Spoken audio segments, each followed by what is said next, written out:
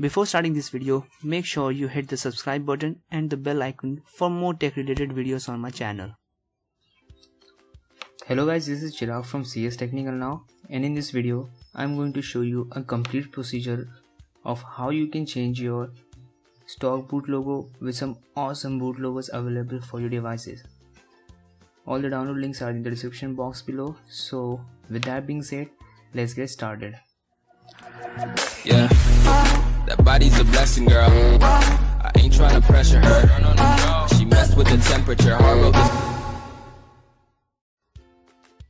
So this is my current boot logo. The requirement for doing this are minimal ADB on your PC and your phone must have bootloader unlocked. If you don't know how to unlock your bootloader, just search on YouTube.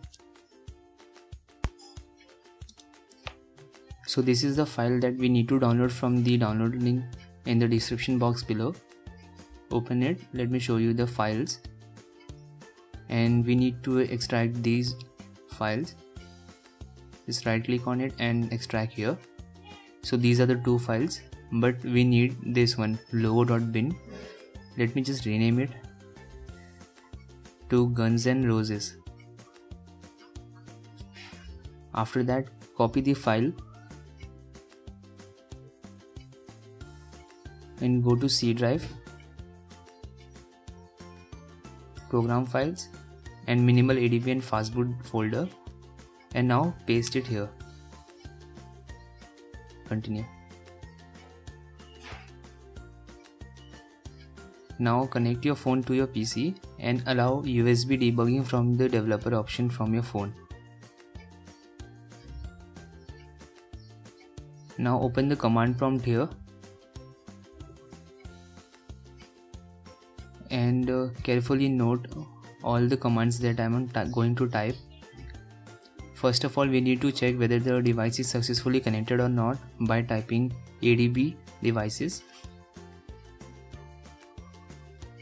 Hit enter and as you can see the device is successfully connected. Now we need to boot our phone into fastboot mode by typing adb reboot bootloader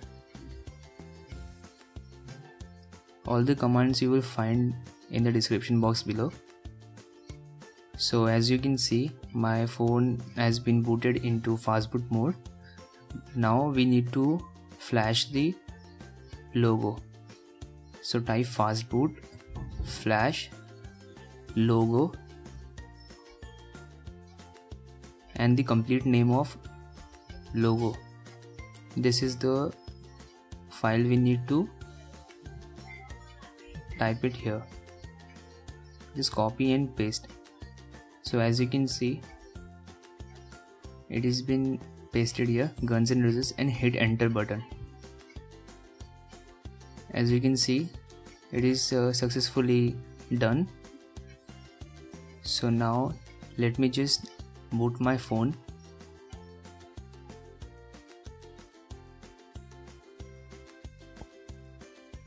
Now as you can see my boot logo has been changed to a new one. Similarly you can follow the same procedure for flashing other boot logos. So I hope it was helpful for you. So please don't forget to like, comment and share this video with your friends. So that's me signing off and see you in the next one.